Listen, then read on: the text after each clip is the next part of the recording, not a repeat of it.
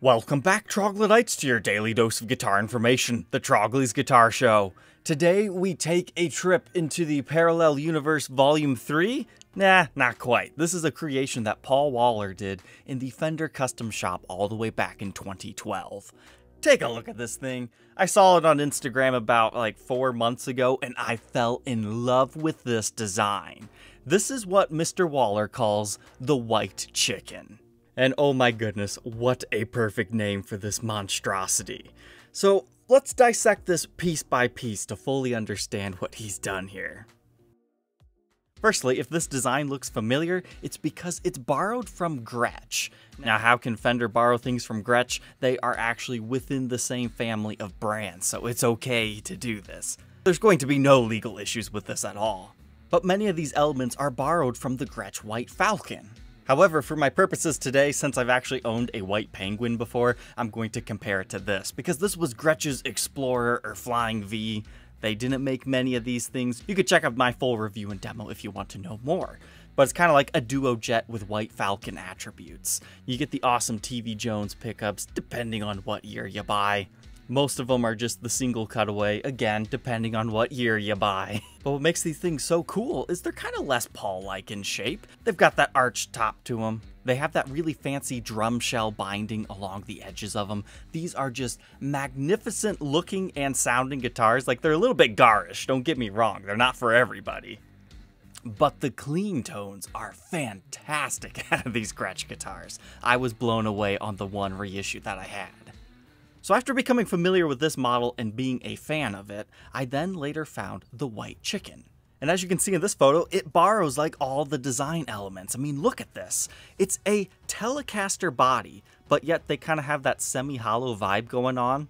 I'm not sure if it's full hollow. I haven't actually owned a White Falcon before, which this is more so based off of because it has the F-hole design. But I think it's the F-holes that bring this whole thing together. But you're to notice, this is not just some crappy telly knockoff that has some of the designs. Because that's something that they've done before. Apparently this guitar belongs to Bono. It's kind of a Gretsch-influenced Telecaster. And even though it still has like the fancy knobs and a very similar looking pickguard, you're going to notice this is a flat top, more like a thin line telly, despite having all the other fancy attributes. It kind of reminds me of more like a thin line Cabronita in a way. But the chicken changes all of that. Because it significantly alters the design. This is not a flat top, it's actually carved. So it's going to feel more like the actual White Falcon when you play it. It's not just going to be this flat Telecaster, it'll be different. And that makes it significantly harder to build because he actually had to hand sand these tops down. And it's not only just the front that they did in this manner they were bold enough to also carve the back. But here's where things get really interesting. It's also a set neck. He altered the design of the Telecaster in order to give him a nice flat surface right here to set the neck into the body. Now, I'm a big fan of set neck guitars. There's nothing necessarily wrong with a well-crafted bolt-on neck, but, you know, I grew up with guitars that were set necks. That's just built into my brain. So that was really cool for me, and they also carved the back. So it's like such a strange little telly here. But he's loaded it up here with two TV Jones pickups. In this video, he calls it the Powertron pickup, so it's not like the true reissue Filtertrons. They've got a little bit more oomph to them, apparently. Now, depending on which one you're looking at, some of them have the Bigsby and bridge system, just like the Falcons do. And they seem to utilize the three knobs down here and one up here. It utilizes the exact same type of pickguard that you find on the White Falcons, except for instead of saying Gretsch on the side, it now says Fender. If you really zoom in, it also looks like they took the time to line the F-holes with the golden drum shell binding. So that's just the top of this thing. It's kind of beautiful and awkward, and let's just talk about that name White Chicken here for a moment. You know, the, the white penguin kind of gets crapped on all the time because it's kind of a pathetic bird to name a guitar after. I personally really like penguins. I think they're cool. I've never understood why people hated it. But I guess, you know, comparing this big majestic falcon to a tiny little arctic bird, I, I understand. I understand. But choosing the name Chicken, it's like, ah, oh, man, it just sounds so pathetic that it makes me love it even more. Because I love company mashups, and I love rooting for the underdogs. Chicken is not a very scary name for this thing, and I love it. But moving on to the neck here. Apparently, it's a slightly shorter scale than a normal Telecaster, because, you know, he didn't have a lot of room to work with on this thing. But the original one is actually a reduced 25 inch scale length, so not by much. Most Telecasters are 25 and a half, so you're kind of into PRS territory now. They utilized a modified B6 Bigsby system. And for adorning the fretboard with, you get the beautiful hump block inlays that have these special little designs inside of them. And of course, you'll notice things like all the hardware is correct to a Gretsch. He just, you know, went to Gretsch, stole some of their parts to make this thing. So you get the fancy little strap buttons there. You get the fancy encrusted, bejeweled knobs. You get all the drum shell binding, including on the neck. It looks like we have pretty large fret wire on this thing too. And I think the true finishing touches here is having the gold sparkly truss rod cover on this thing, as well as the Fender logo also being done up in that. But you're going to notice there's actually something a little bit more different about this headstock as well. It's tilted back. You know, kind of how like Gibson does theirs, Gretsch does theirs like that too. It's so they don't have to utilize string trees. And he didn't want to use a string tree on this particular model because of the whole Bigsby. He wanted the tuning stability to be as best as it could be. So he didn't do it for tonal reasons. It's just, you know, something else that makes this Fender so interesting and unique.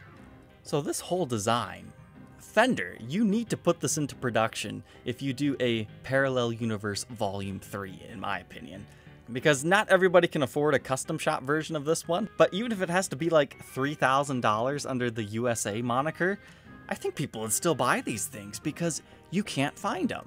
The original one was made in 2012 and it got a paltry, see what I did there? A paltry 26,000 views on YouTube.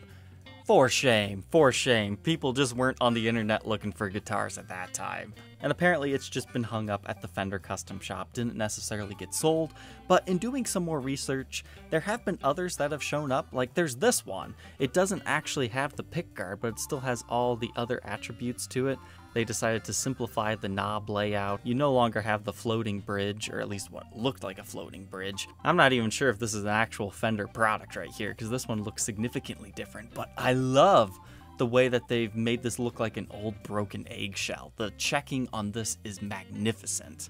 It also seems to be slightly less cluttered with this kind of strange looking Bigsby unit on it.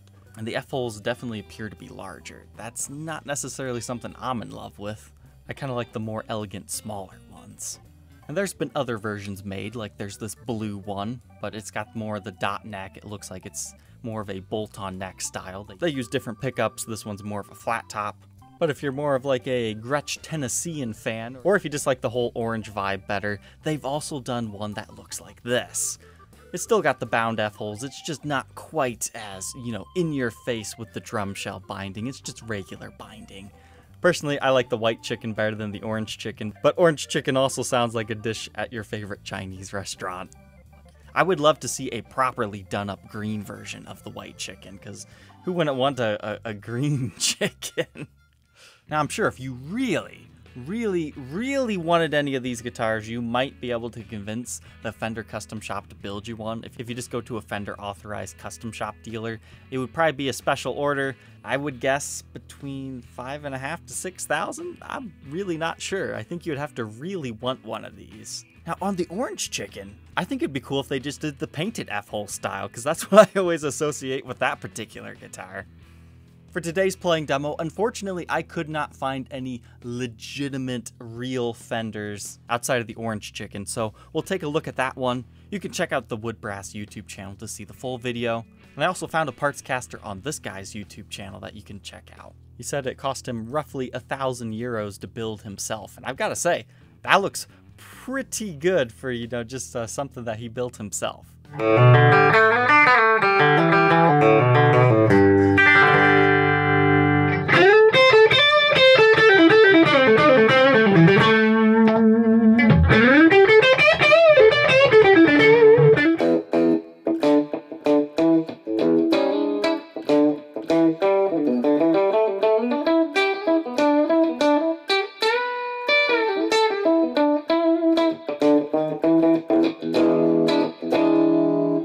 Alright, troglodytes, the only question left, would you rock the Gretsch Fender White Chicken or not? Leave your answer down in the comment section below. Don't forget to like, comment, and subscribe. And we will see you tomorrow on the next episode. Take care.